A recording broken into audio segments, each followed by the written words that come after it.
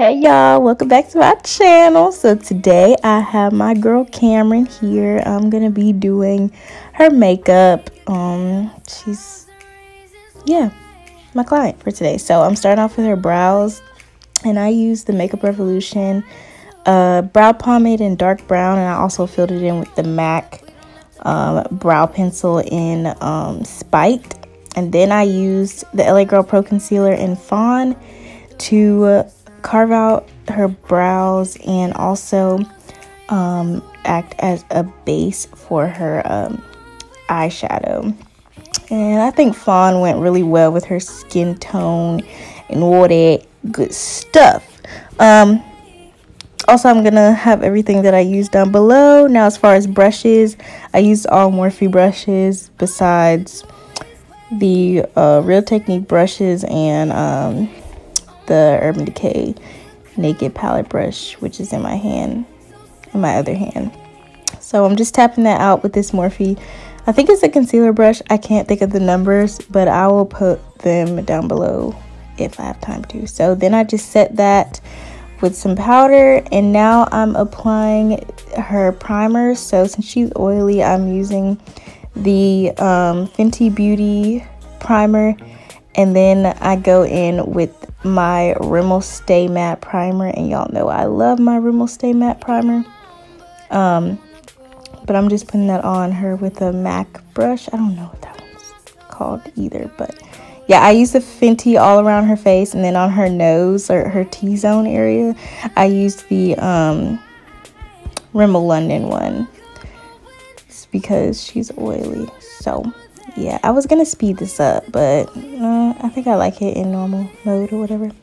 So then i went into the juvia's place the warrior 2 palette and i took the shade jamata jamata um it's like a a maroon-ish shade and i tapped that into her crease and she has a lot of lid space which i really liked and i liked it a little too much which y'all will see why I liked it a little too much. But I just tapped that into her crease um, first. And then I went into my, um, what's that little girl name? My Morphe and Jaclyn Hill palette. And I think it's the shade Butter. Don't quote me on it. But I took that one. It's like a light brown, like a cream shade. And I just blended that out, uh, the Jamada shade out with that shade um, on top as like I guess her transition shade or whatever. Um, and I went in with little by little. Now I packed on the maroon shade just to make sure that we would have some color there. And then I would just go in with the other shade and then I would go back and forth, back and forth and just made sure that it was blended seamlessly. So that's what I did. Don't know what that brush is called, but like I said, I will have um, the brushes um, in the down bar if I get around to it. so yeah.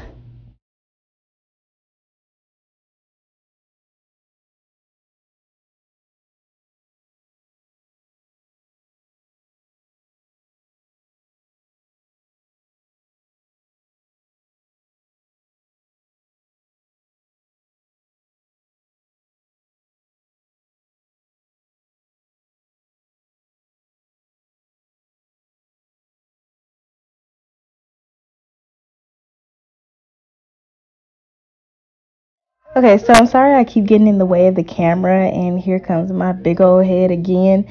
Um, but I just want to show you guys how I blended out the shades. I did it in circular motions and then I went in with like a clean brush that had no product on it and um, blended it out a little bit more. So just so y'all would know to blend the colors some more.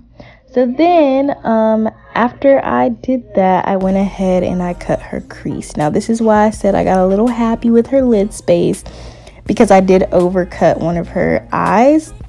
Um, but it's okay because I was just doing this for fun and um, we always talk about makeup and stuff. So, figured why not? Um, plus, I like her eyes. So, yeah. Uh, but I used the LA Girl Pro Concealer. I don't know the shade, but it was really, really light. I just can't remember the shade, but it'll be down below. So, yeah. Um, so then uh, I set that with the Sacha Buttercup translucent setting powder, which is the white one. Bet y'all didn't know they had a white one. well, they do. And then I went into um, back into the Warrior 2 palette and took that white shade called Zaz um, and put that all over her lid, all, all over her cut crease area, if you know what I'm saying. Um, and then after that, I went into, I didn't go into anything. I used my MAC brushstroke black liner and did a thin line. No, I didn't. I'm lying.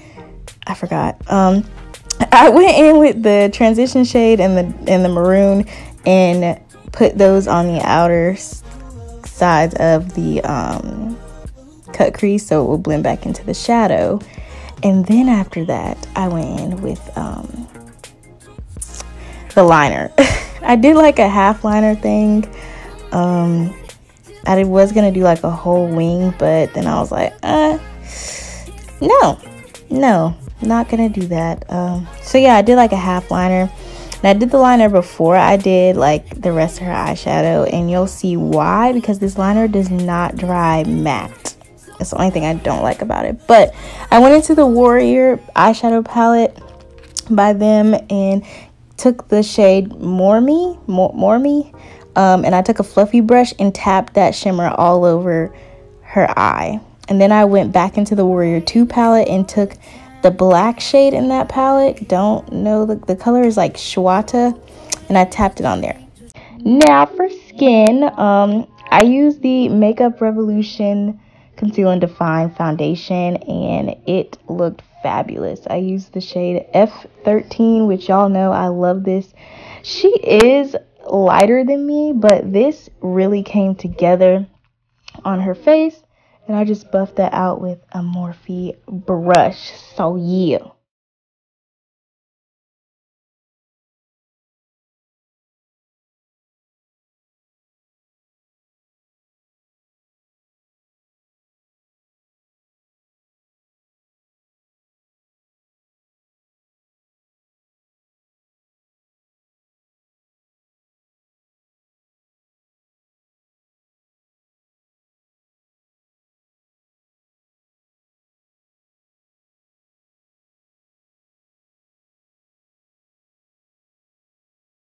So after I buffed that all in, I went into the uh, Fenty Beauty Matchstick in the shade Truffle to contour her face. And I used this. Didn't want to give her such a heavy contour, but it looked really good in the end. So I like it. I like it.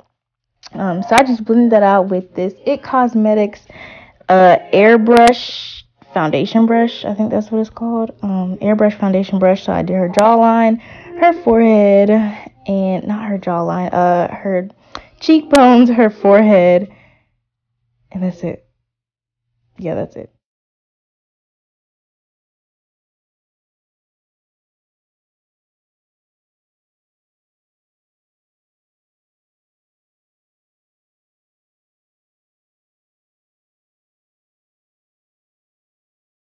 Then I went into the LA Girl Pro Concealer in the shade Fawn. Uh, and I used that to highlight her face. Didn't give her a dramatic highlight, but she was telling me that she likes a brighter under eye. But I had already put it on there, so that's what we were going in. but I'm blending this out with the Real Techniques um, powder brush. This is a good brush to blend out your concealer with. I swear. I swear. I swear. And I noticed I didn't put it up under her eye directly like you usually would because you want to blend it up and out and down if that makes sense to get the best coverage and all that good stuff. Um, so then I did her chin and then I did her nose and her forehead and lit them up. Had to light it up, light it up. Um, after that, I just set her face so I set her face using the Sacha Buttercup setting powder um, in a sponge. Um, yeah.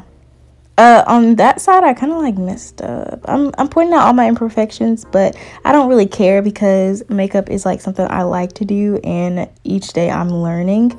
So uh, now I know don't cut a bigger eye shape so so wide stuff like that. Don't set a face like that. I know not to set a face like that. Don't know how or why i did that but yeah. So i'm just learning. Y'all are gonna see everything. I barely even cut this video so yeah. Um then i set her mouth area with the white Sacha Butter Buttercup, the translucent one, because that brightens that area. And, you know, most women of color, they have darkness around that area. So, one, it kind of blends in with the rest of the skin and makes it look even, if that makes sense, instead of darker.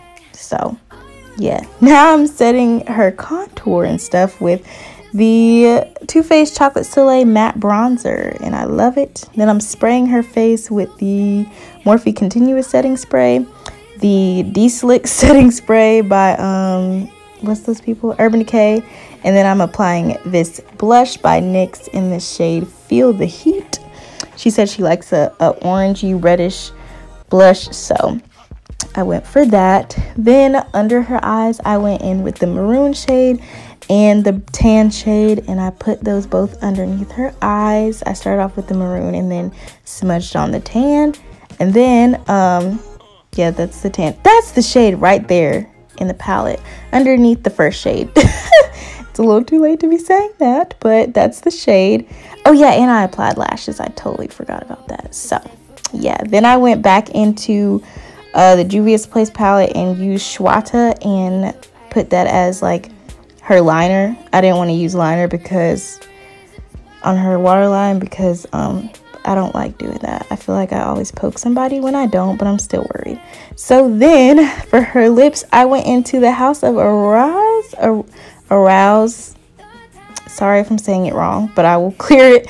Um, lip glosses. And these glosses have numbers. Can't remember the numbers, but I'll put them down below. Y'all need to go check them out, y'all. Check them out. They're so nice glosses, but I'm not going to continue to talk about them in this video. I have a whole dedicated video for them glosses, y'all. So stay tuned for that. But I just did her a simple neutral lip that um would go along fine with the whole thing. You know what I'm saying? You know what I'm saying? And then I went into her highlight and I applied the Anastasia Beverly Hills Glow Kit and Sun Dipped and I used the shade Bronze and the other shade, I think it's like Sun Kissed or something like that.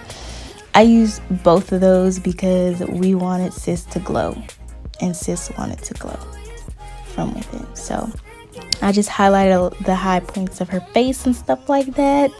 Cheekbones, forehead, the chin, the nose. We was really out here gleaming, okay? All right, so this is the finished look. I hope you guys enjoyed this video. Check Cameron out. Check out the glosses. And don't forget to look at my last video, like and subscribe. And I'll see you guys in my next video. Bye.